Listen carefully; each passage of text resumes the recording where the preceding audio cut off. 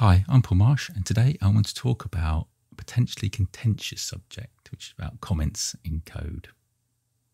So if I move over to my slide deck. So I kind of think that the whole thing about commenting your code is a bit of a lie. I don't really think it exists, the need for it.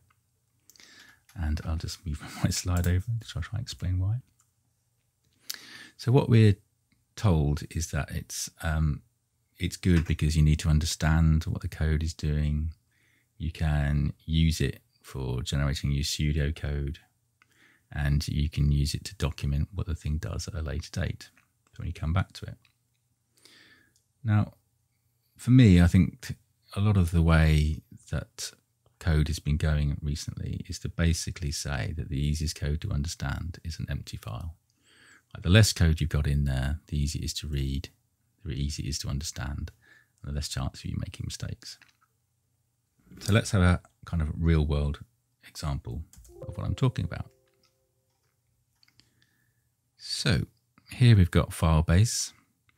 Um, this is a product from Game Dev HQ and it's got lots of nice assets and things. But one of the other interesting things it has is a set of challenges.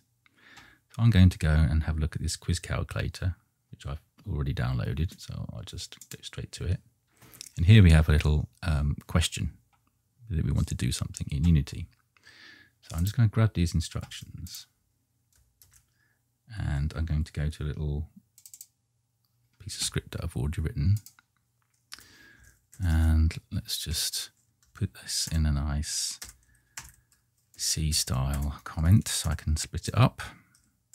Hopefully this won't be a test of my programming skills or lack of. This is should be try and keep it all about commenting. So your program should support five quiz grades. Okay. That should be calculated randomly and based on the average printout, based on the average, printout either, and we have a set of rules. Okay, so let's just get these so we can see them more on the screen.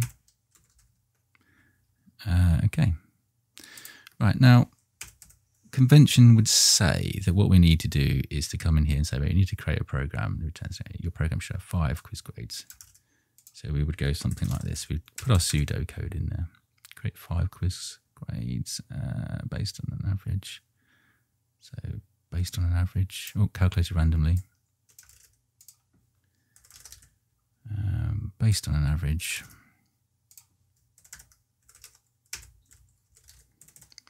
And then print out grade. Okay. And then we would start to fill this code in. And what you'd end up with is a function that initially would be chock full of code. And I don't want that. I don't really feel the need for it. So I've done this bit. Now what I think we should do is to say your program should support five quiz grades. So I would say initialize five quiz grades.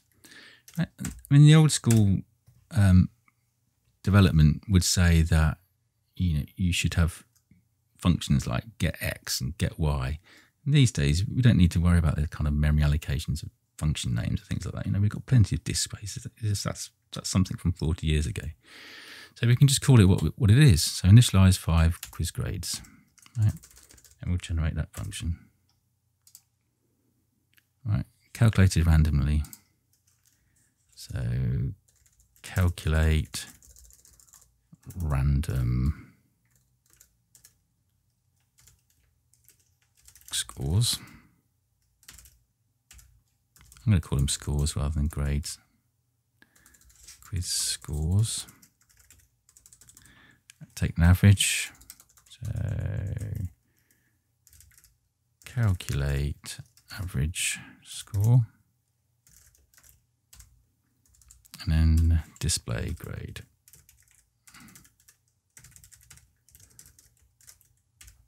So I would argue that these functions are just as easy to read as the comments that we had before. And this is taking up far less noise so that we're already setting out that I'm not going to put a, lots of code inside this function. I'm already modularizing it straight from the bat. So let's create some more skeleton codes of this. Uh, generate methods. Generate methods. Generate methods.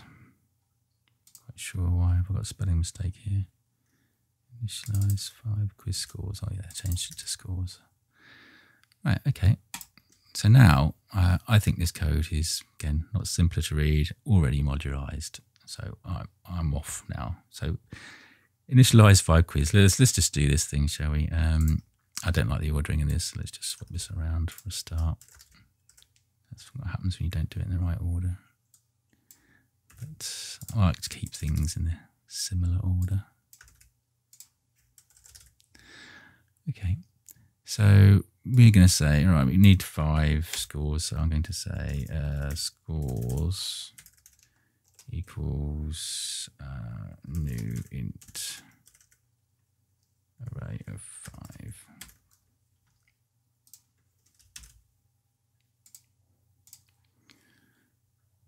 So we got our five scores.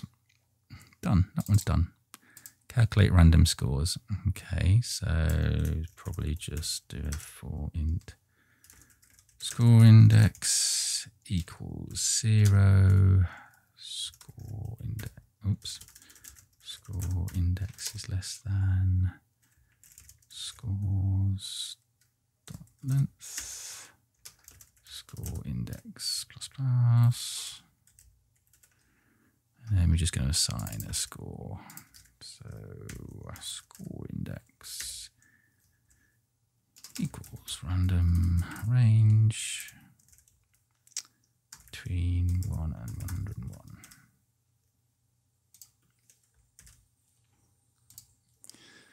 Okay, so that's calculated our random scores. Nice and easy. Calculate average score. Some more. I don't really need to fill these in, do I? But there we go. I might as well just for completeness. So, da -da -da. okay, we say total score equals zero. Keep it as ints for now. Uh, okay, total score plus equals score index.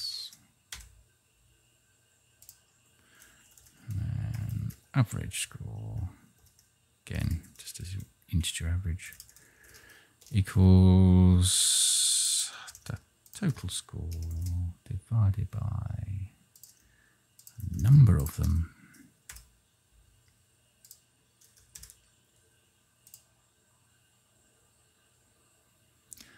Okay, that's good. Uh, so back here, we calculated our average score and we need to display it. So we can do print.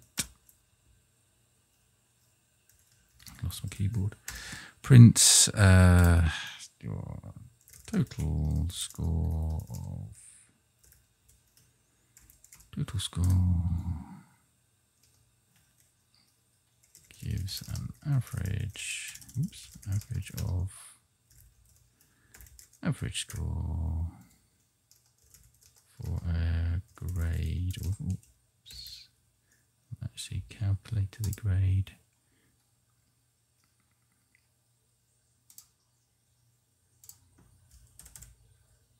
Actually, I think I'll do that separately. Display grade. Separate that out. Uh, calculate grade from average score.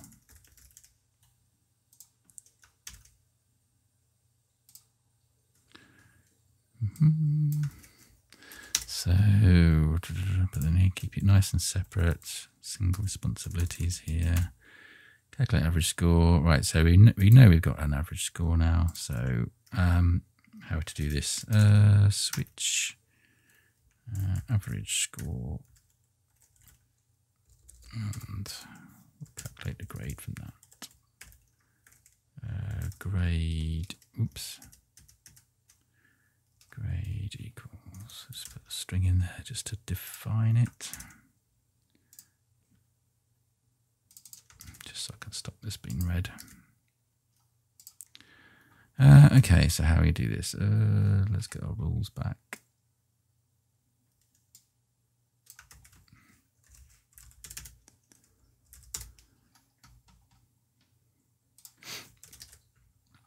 So we want to say when the case of an int, when it is, uh, uh, when every score is greater than or greater than or equal to 90, then our grade is going to be an A. Okay, and default to say our grade is equal to an F. And we can fill in the bits in between. So B, C, and C. Okay. B, C, I mean, again, the, the, coding isn't really important. That's not really what I'm talking about here, but it's going to be greater than 80, greater than 70. And then we're going to say, and average score is less than 90.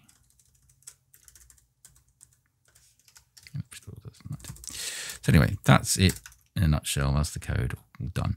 So uh, really to come back to my point, what we've got here now is we've got uh, functions all nicely modularized, all nicely having their own responsibility. Uh, they're easy to understand what they're doing. They're well named. Uh, you can see quite clearly what, what's going to happen without digging into them. Now, conversely, if we'd have gone through the pseudocode commenting route, we would have had one big chunk of code in here with lots of different codes going on. And worse still is what would have happened is if you take something like the um, calculate average scores. So in here, because it was doing, I've done it in a modular fashion, I, I started using, uh, immediately using fields. Now, chances are what you'd have done is if you'd have come in here and started doing this all in one function, these would all be variables, just inline variables. Uh, and when you came to break these out into separate functions, what you'll find is you'll end up with lots of return variables and outs and references and that sort of thing, because that's what the code will try and do to help you when you refactor. So you'd have to go through lots of ugly code and lots of different stages.